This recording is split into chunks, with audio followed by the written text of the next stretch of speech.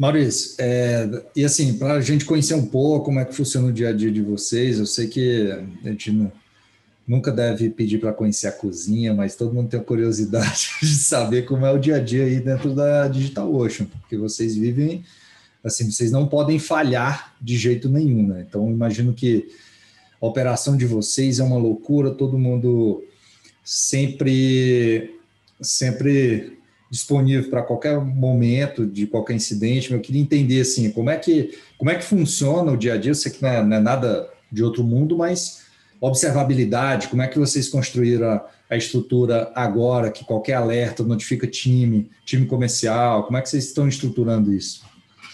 Então, internamente a gente tem uma equipe só para cuidar disso, né? Tem uma equipe que só, só, só roda os servidores de, de métricas, né? Roda os grafanas que a gente usa para dashboards, roda o cluster de Elasticsearch que coleta todos os, os, logs das aplicações internas, né? Então tem uma equipe que é só para executar essa parte de operações e eles fornecem esses serviços para os times dentro da empresa. Então hoje é, é meio que você recebe tudo meio que de graça né? Porque essa, essa equipe de, de, de, observability, eles já fazem, eles dão esse negócio todo, você não precisa montar os seus próprios servidores de Prometheus, você não precisa rodar seu próprio Grafana, você não precisa coletar os logs, eles já coletam os logs direto no Kubernetes e, e do Kubernetes ela já vai, acaba no, no Elasticsearch magicamente para a gente, né? Então, isso, isso é uma das coisas que eu acho que talvez seja um, eu, eu diria que hoje ou você tem um, um, ou você tem equipes especializadas para fazer esse tipo de coisa, ou você está pegando um serviço gerenciado para fazer isso.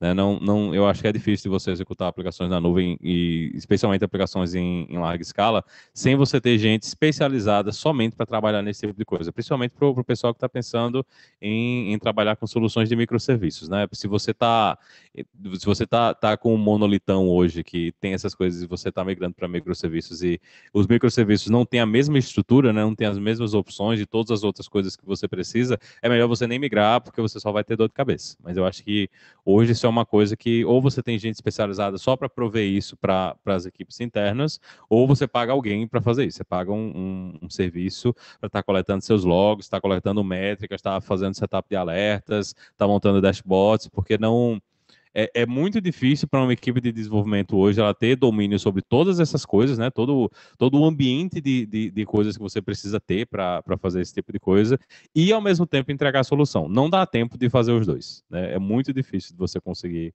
fazer tudo junto.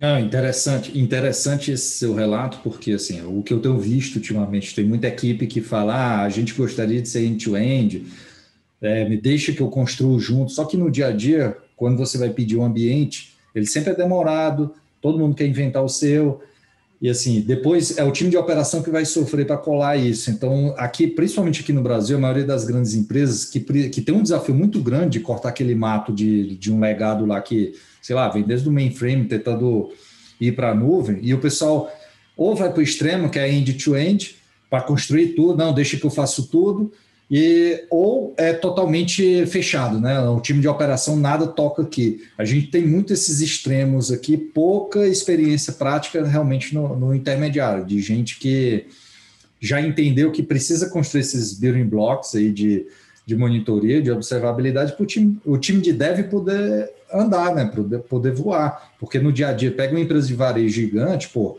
quantidade, o, o backlog que ela tem para implementar assim, nem adianta sair contratando muita gente, porque sempre vai estar tá no, no, talo, né? Sempre vai estar tá muito alto. E não tem tempo de construir tudo. É, mas é super interessante essa, essa abordagem que vocês fazem E, isso é uma coisa que é, assim, tem, tem sido padrão para muita coisa na Digital Ocean. Né? Eu, eu trabalho na equipe, numa, numa equipe de plataforma, né? A equipe de Edge é uma equipe de, de plataforma. Então, o nosso objetivo é trazer uma solução para que o, a, as equipes de produto eles não tenham que ter dor de cabeça com nada de edge. Né? Então, roteamento, a, a, a, autenticação, rate limiting, todas essas coisas a gente já entrega, está tudo pronto, ninguém precisa fazer nada. E eu, eu, não, não, eu não lembro de ter acontecido de alguém dizer, ah, eu quero fazer isso na mão. Não, é sempre a galera chegando para a gente, e dá para vocês fazerem isso a mais, além do que vocês já estão fazendo, porque, na real, a, a, o objetivo das empresas, das equipes de produto é entregar produto, velho. Você, quanto menos tempo você puder gastar fazendo coisas que não estão relacionadas a produto, melhor a solução, porque você está entregando mais produto e isso termina criando uma, uma um ambiente mais padronizado internamente. Né? Então você não tem 50 soluções de métricas, você não tem 50 soluções de dashboard, você não tem 50 soluções de logs, porque em, especialmente em escala, executar essas coisas é muito complicado, tá entendendo? Você precisa de conhecimento específico para rodar os seus servidores, para você coletar todos os logs, para você garantir a segurança desses lugares, tá entendendo? Garantir que a galera não está escrevendo coisa que não devia estar tá escrevendo nesses ambientes. Então, não é uma coisa, eu acho que se você é uma empresa pequena, você tem uma equipe só e, e todo mundo tem que fazer tudo, acho que talvez faça sentido, mas para uma equipe grande, você deixar que todo mundo escreva todos os pedaços, vai acabar que ninguém vai entregar nada porque está todo mundo montando plataforma em vez de você já ter uma plataforma pronta que todo mundo pode usar. E, e eu acho que o, o, um dos problemas que você pode ter na hora da, de estar tá indo para esse lado de plataforma é entrar nesses ambientes burocráticos onde você tem que ficar pedindo às pessoas para fazer as coisas, né? Ah, fulano, cria isso aqui para mim, ou faz isso aqui para mim. Não, o ideal é que essas equipes de plataforma também funcionem como um, provedor de nuvem, né? Que você chama uma API, a coisa está funcionando e as suas métricas estão sendo coletadas e, e os seus logs estão chegando em algum lugar. Então, a, a, as equipes de plataforma têm que também operar do ponto de vista de que nós somos também um provedor de, de nuvem para os nossos clientes, apesar de serem só os clientes internos. Né? Então, eles também têm que ter essa coisa de que tem que ser fácil, né? a experiência do usuário para a equipe de plataforma tem que ser boa, porque senão a gente vai, o pessoal vai querer ser end-to-end, -end, não é porque eles precisam ser end-to-end, -end, mas é porque a interação com as equipes de plataforma é tão ruim que você não tem saco mais para estar tá trabalhando com eles, né? que, é, que é um problema que pode acontecer nesse tipo de ambiente. Bacana. É, comentar sobre isso aí. É, eu tinha comprado um tempo atrás, mas eu não tinha acabado de ler aquele livro do The Art of Monitoring, né, que é um dos melhores livros né, de monitoramento, observabilidade. E foi bacana que eu fiquei pensando, cara, primeira coisa, o cara começa o livro falando que ele vai, você vai conseguir aprender um pouquinho sobre desenvolvimento em Clojure, tem um apêndice que fala de Clojure. Eu falei, cara, aqui no Brasil, quantas empresas conseguiriam subir aquela stack ali que ele está falando, programar? Cara, é quase ninguém. E os times de monitoramento que a gente encontra, de maneira geral, a maioria deles é focado naquele ferramental de monitoramento tradicional, né? Zabbix, talvez, Grafana é super comum, mas é, poucas coisas que são já prontas para o modelo Cloud Native, né? Que você tem basicamente vários endpoints e coisas que são bem dinâmicas, né? E isso me parece realmente, cara, melhor contratar alguma solução que caiba né, no orçamento para não ter que investir tanto em equipe própria, porque até que eu fico pensando, é, quando falta escassez de profissional, mesmo que você, quando tem muita escassez, né, você, mesmo que você possa ter um time que seria capaz de construir uma stack fantástica de monitoramento, você vai provavelmente querer usar aquele time para construir seu produto, né, não para fazer plataforma. Né? Então, é, tem que escolher é, alguma abstração. E, e, esse é até um dos pontos né, que, assim, muita gente que hoje tem contato com empresas de fora, então sempre surge essa curiosidade, né? É, o que você tinha na sua experiência trabalhando aqui ainda no, no, Brasil, quando você começou a trabalhar, primeiro com times remotos, depois trabalhando fora do Brasil realmente, o que, que você entende que, assim, hoje os, você entende que as boas startups brasileiras, por exemplo, os bons times de engenharia, estão no nível de quase paridade com o Vale do Silício, ainda tem uma, uma diferença grande e como que você enxerga, né, essa diferença de, de competência técnica mesmo, capacidade de execução dos times, enfim, mundo afora, comparando com o que você tinha de experiência aqui no Brasil? Assim, eu, eu, eu, acho que é muito mais de, de onde está a empresa e do tamanho da empresa do que, do que exatamente da, da localização. Né? Eu acho que o, o pessoal que tá, tinha, tinha muita gente usando a nuvem no Brasil desde o início, né, entendendo como é que essas coisas funcionam. A gente tem, tem muita gente que, que eventualmente saiu do Brasil para ir trabalhar fora nesses ambientes e assim, não é uma coisa surpreendente. Você vai encontrar esse mesmo tipo de, de atitude, né, em empresas aqui também, né? É, é, muitas coisas que a gente, ah, não, isso é uma solução antiquada, mas isso existe também aqui nos Estados Unidos, você vai encontrar a mesma coisa na Europa, você vai ver esse, o mesmo tipo de solução e as pessoas cometendo, eu, eu diria, né, o mesmo tipo de erro né, nisso aí. Eu acho que é muito mais da, da maturidade da parte de tecnologia da empresa, né, de, de entender o que é que é o objetivo final da, da empresa e, e como investir o dinheiro. Né? Eu, a gente tem a, a DigitalOcean é um, um, ambiente especial porque a gente faz a nuvem, né? Então a gente não pode contratar um serviço de nuvem para fazer as coisas para a gente. A gente tem que, tem que implementar a mesma coisa no braço, porque é, é assim, né? É, é, é, isso que a gente vende, o negócio da empresa é esse. Mas eu, eu diria que para a maior parte das empresas, o, o ideal é você tá usando alguma coisa que esteja pronta ou ter gente especializada para ajudar você a fazer esse tipo de coisa, porque é muito complicado, né? Você ter, ter um entendimento de como tudo isso funciona, como todas essas coisas integram, e você imaginar que todos os seus desenvolvedores vão ter o conhecimento e a ideia de como todas essas coisas vão, vão, vão trabalhar em conjunto, é muito difícil. É a mesma coisa que você dizer, ah, a gente não precisa de uma equipe de segurança, porque todos os nossos desenvolvedores entendem tudo de segurança. Isso não existe. Né? Em, em lugar nenhum do mundo você vai conseguir fazer uma empresa que não tem nenhuma equipe de segurança, porque tem muita coisa que as pessoas precisam saber e coisas que precisam se preocupar, e, e eu diria até que que, do ponto de vista do desenvolvedor, do meu ponto de vista, eu, eu realmente adoro não ter que me preocupar com nada que não faz parte da, da, da do, do, core da nossa equipe. Né? Então, qualquer coisa que não está diretamente relacionada, eu, é, é, eu não quero saber onde é que está rodando o Prometheus, que coleta as métricas das aplicações que a gente tem. Eu quero que ele esteja rodando e que as métricas estejam lá. Mas eu ser responsável, tá um call para o Prometheus, eu não quero porque eu já estou um call para todo o tráfego da, do painel de controle da API da DigitalOcean. Tá entendendo? Então, além de eu estar on call para todo o tráfego da DigitalOcean, eu tenho que dar um call para o Prometheus, eu tenho que dar um call para o Elasticsearch, eu tenho que dar um call para pro, sei lá, para a solução de alerta que a gente usa. Não dá, né? Não, não dá tempo para você fazer tudo isso e entregar a solução depois. Então, eu, eu acho que é, é muito mais uma coisa de maturidade da, da, da, empresa em si, da equipe, e de entender onde é, é como você disse mesmo, onde é que está o foco, né? Como é, é, é muito. Você está tá pagando caro né, pela, pela mão de obra, o pessoal entregar essas coisas, eles vão estar tá trabalhando em produto, não em, em, infraestrutura, que é uma coisa que, assim, muito disso aí já está padronizado. Muito disso aí já está padronizado. Principalmente para soluções cloud native. Tem, tem os, os stacks eles já estão bem definidos, né? Tem. tem muita coisa pronta e mais uma vez com Kubernetes. Tem muita coisa que, que conecta direto com Kubernetes.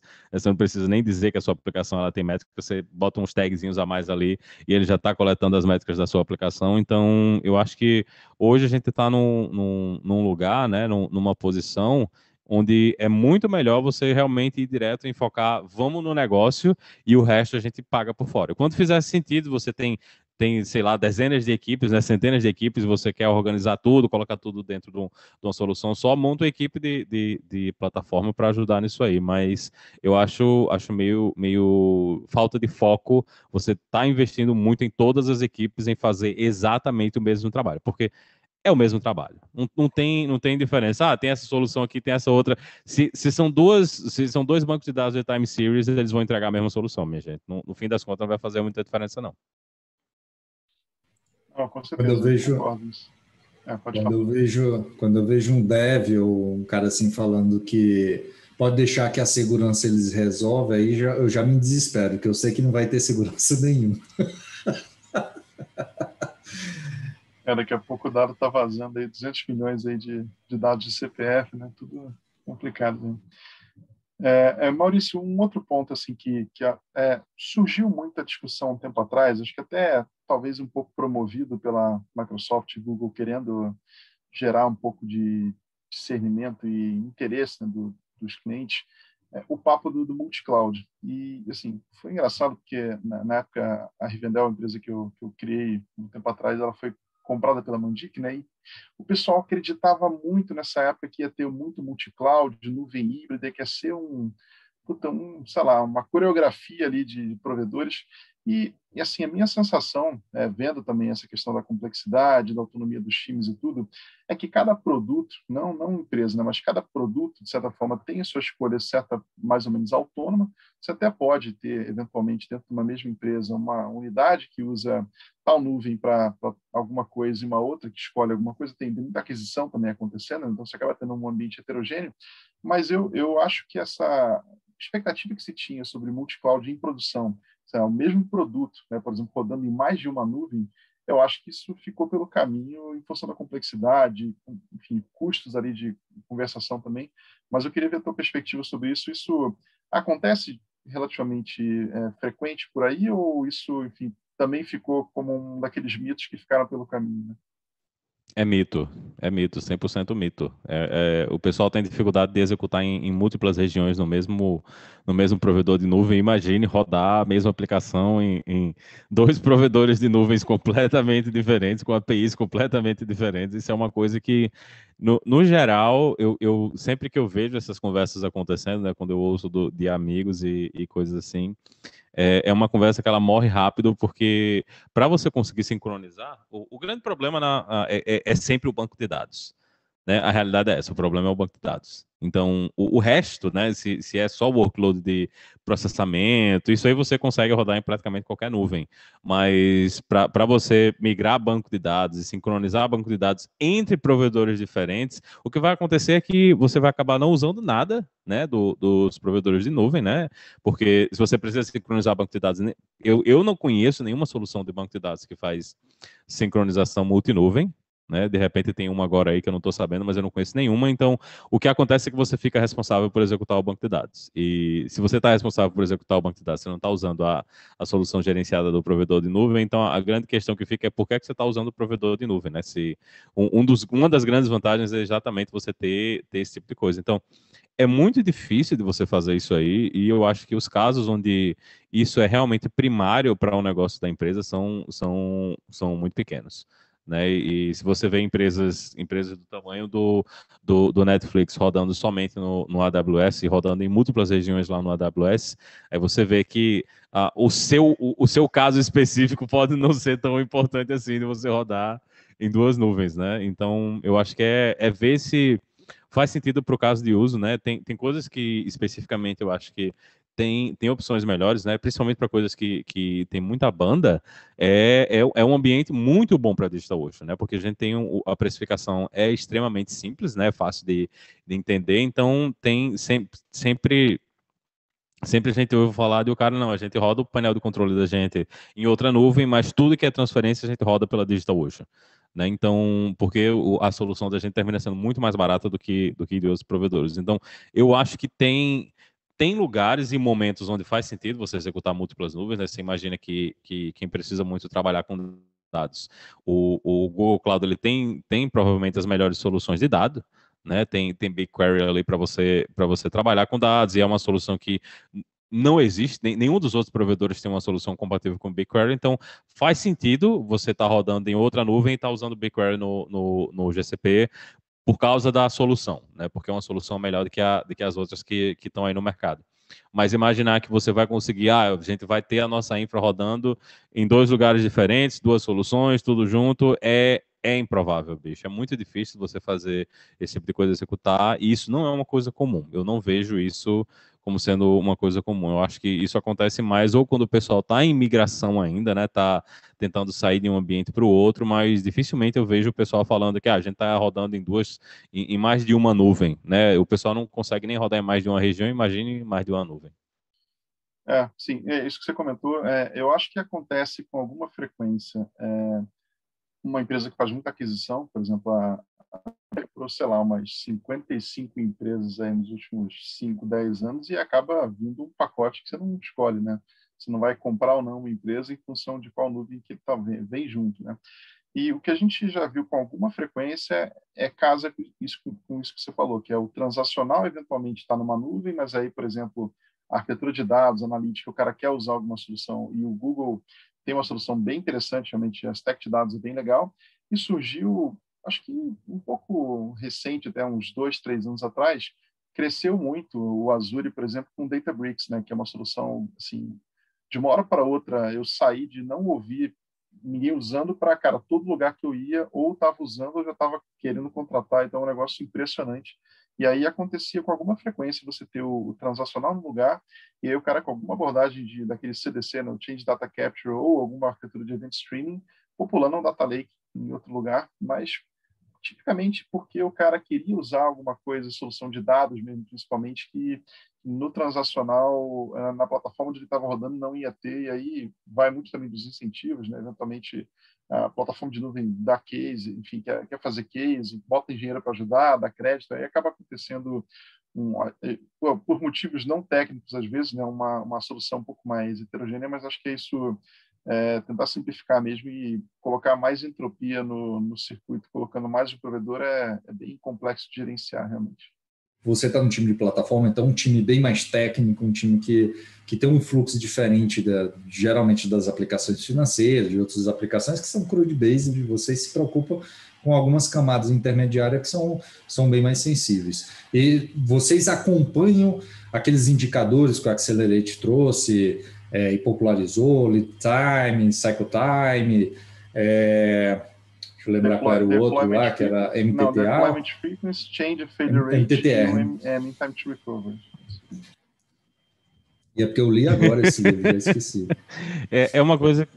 Ele, é uma ele. coisa que, que depende das equipes, né? Eu acho que cada cada, cada equipe tem, tem o, seu, o seu jeito de trabalhar. A gente tem objetivos, tem, tem, tem os KPIs, né? Tem os objetivos definidos da, da empresa, né? Quando, quando a gente faz planejamento e as equipes elas desenvolvem as, as métricas que são mais importantes para eles, né? Então, para nossa equipe especificamente, né? Por causa do, do do nível de disponibilidade, a gente tem mais preocupação com coisas como com mean time to recovery, né, com, com o uptime que a gente tem da, das soluções, então a gente tem, sempre tem métricas que são relacionadas a esse tipo de coisa, né? E a gente está sempre acompanhando esses números o tempo todo, mas é uma coisa que depende muito da, da, da equipe e de qual pedaço da empresa você está, né? Então não, não tem uma solução específica, né? A gente não tem, não tem uma coisa que é válido para todo mundo, a gente só tem os, os objetivos principais e, e daí o pessoal define os seus próprios objetivos internos para a entrega dos produtos, né, para quem é equipe de produto e, e para a gente, né, como a gente fornece os produtos internamente para o pessoal de plataforma. Em termos de montagem de dashboard, quando vocês vão oferecer essas, essas métricas, esses, esses indicadores, porque vocês são um time de plataforma, né? Isso, você faz parte do time de plataforma. Existe alguma integração entre o time de produto que ele pede, olha, time de plataforma, vou construir essa dashboard agora, então vocês já precisam montar esse instrumental aqui para mim, me fornece isso aqui, ou é, também cada time tem uma, um modelo cada, diferente? Cada um tem um modelo diferente. Para a gente é um pouco mais simples, porque como a gente coleta todas as métricas diretamente, né, a gente já entrega a, a, os dashboards prontos. Né? A gente tem, tem dashboards lá com variáveis que já vão mostrar todas as métricas que a gente coleta de todos os serviços que a gente faz roteamento, então o pessoal tem tem acesso direto, você quer ver qual, qual como é que está a sua saúde, a saúde do seu serviço, né, do, do ponto de vista da, do, do, nosso API Gateway tem um dashboard só do seu serviço, com todas as métricas do seu serviço, e a gente também define algumas coisas básicas, né? A gente define alertas básicos de, de uptime da aplicação. Não, não são coisas assim muito que exigem muito, mas são coisas que ajudam, principalmente quando a gente está tendo outages, e que ajudam o pessoal a entender o que é que está acontecendo, onde é que está falhando, onde é que está o problema, né?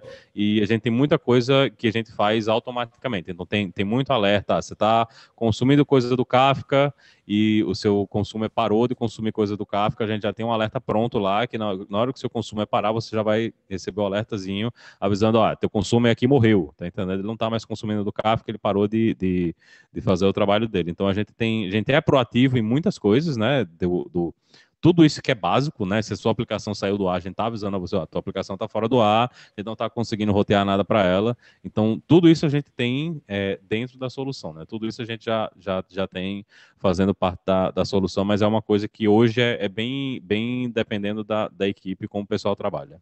Porque assim, eu tive muita experiência de é a tradução entre, entre métricas de engenharia e alguém mais de produto sempre ficava muito complexo, porque o engenheiro entende tudo, aquele matrix lá que está caindo os números, e o cara de produto não entende nada. Então acontece um alarme, é, manda os indicadores, mas o cara de produto recebe e diz: não sei, eu sei que está com problema, mas não sei ler isso aqui. Então, bacana assim que vocês já traduzem para o time de produto o... Tem que ter, tem que ter. Inclusive, o, o, isso é uma coisa até que começou com a nossa equipe de, de, de observabilidade, né? Eles tinham os dashboards deles sempre eram dashboards que eram muito alto nível, né? Eram dashboards que eram muito fáceis de você entender o que é está acontecendo, tudo tinha muita documentação, todo painel tinha explicação do que, é que era o painel, e, e, hoje a gente acompanha esse mesmo padrão, né? Inclusive a gente tem dashboards diferentes para públicos diferentes, né? O, o, dashboard que eu sou acostumado a olhar para as nossas aplicações não é o dashboard que uma pessoa que está de fora da equipe vai estar tá olhando. Né? Eles, ele tem, tem, a gente tem dashboards de alto nível específico para quem é de fora da equipe para olhar, porque eles não têm necessidade de ver todas as métricas e todas as coisas. Eles querem ter uma visão de alto nível, então, se você está no meio do incidente, a gente tem um dashboard específico só para triagem.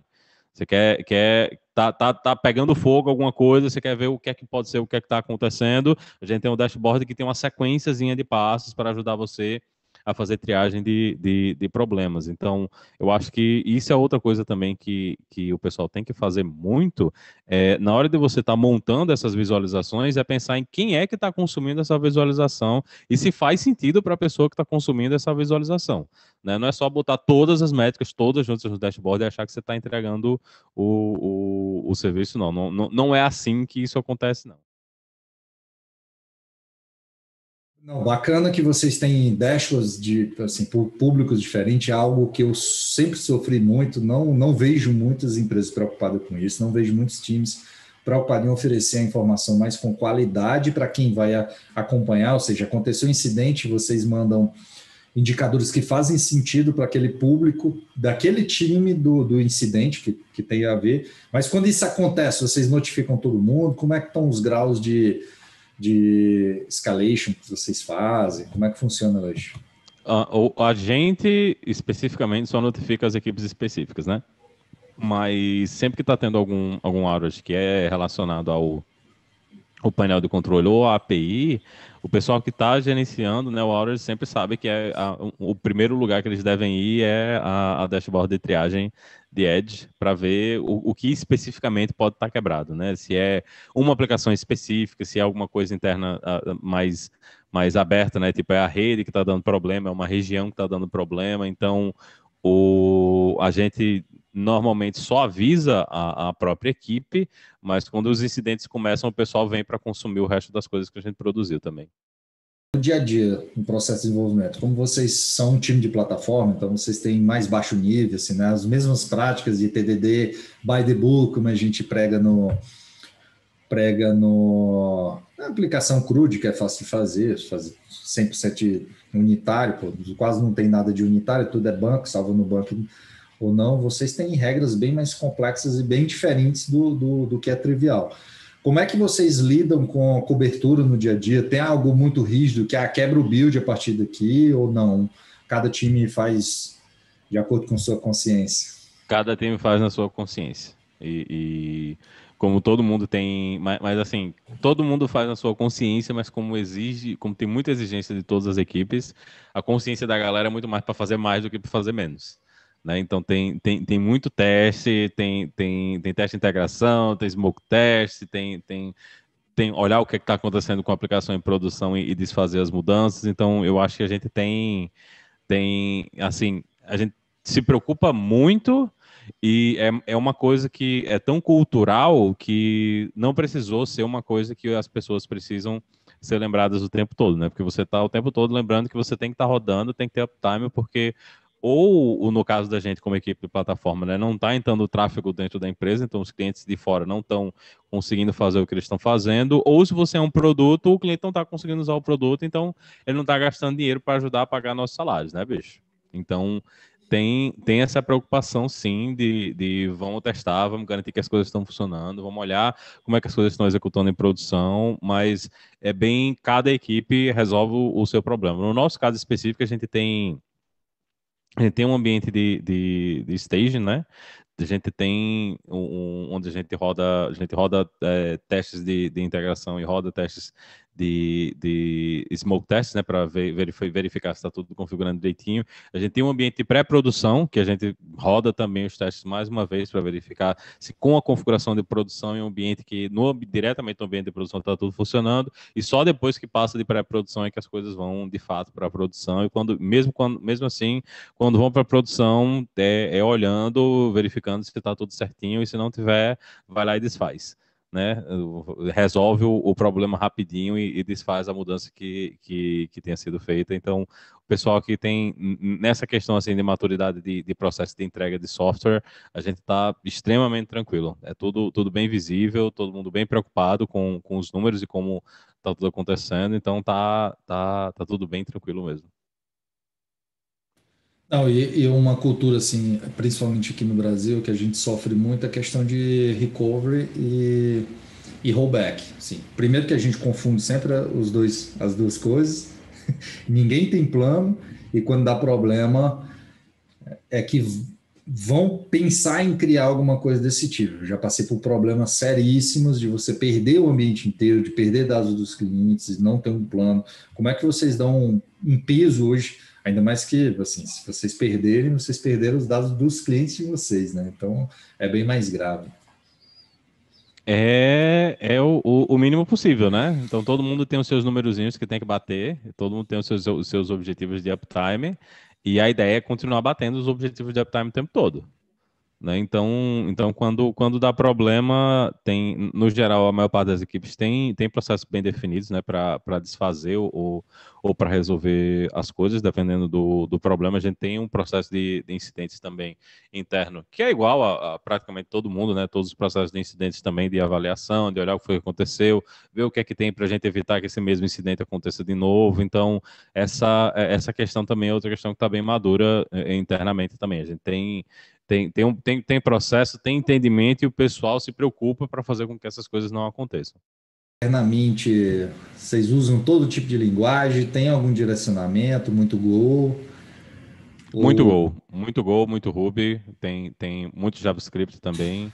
Hoje, eu acho que essas são as três assim que o pessoal mais usa. Não tem, não existe obrigação, mas tem muita coisa que já está pronta para essas linguagens, então é difícil de você ir trazer uma outra linguagem, né? Porque se você vai fazer um serviço de back-end, ele provavelmente vai ser escrito em Go, se você vai fazer alguma coisa no front-end, provavelmente vai ser escrito em, em, JavaScript, se você vai mexer nas aplicações antigas, vai trabalhar com Ruby, e foi uma coisa que aconteceu naturalmente pelo, pela fricção, né? Então, como tem muita coisa já pronta, para você coletar métrica, coletar log e, e, e fazer tracing, to, toda essa infraestrutura já está pronta nessas linguagens que a gente já tem, não vale muito a pena você ir atrás de fazer outra coisa, né, em outra linguagem. É, é muito custo e, e, o negócio é produto, né? A gente tem que entregar produto para o cliente.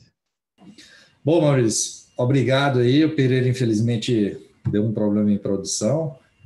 Vamos analisar o post-mortem dele. Mas muito obrigado aqui pela pela, pela presença. Vamos te chamar novamente no futuro, em breve, e só agradecer. Com certeza, é um prazer, prazer estar aqui, prazer estar falando com vocês de novo aí, e já, principalmente com o Pereira, faz muito tempo que eu não falo, né, com, com tudo não, a gente já, já é de casa já. Mas é sempre um prazer estar por aqui. Bom, até mais, gente, até o próximo episódio. Não, perfeito. E vocês, e vocês assim, não, não, já tem algumas APIs de dados, já tem algum, algum serviço de dados. Existe algum, algum levantamento ou feeling que vocês precisam avançar nos building blocks de dados também? Ou estão muito focados no delivery e dados vai ficar mais para o futuro? Tem algum direcionamento? É, eu não posso falar. Eu vou deixar cenas pós-créditos aqui.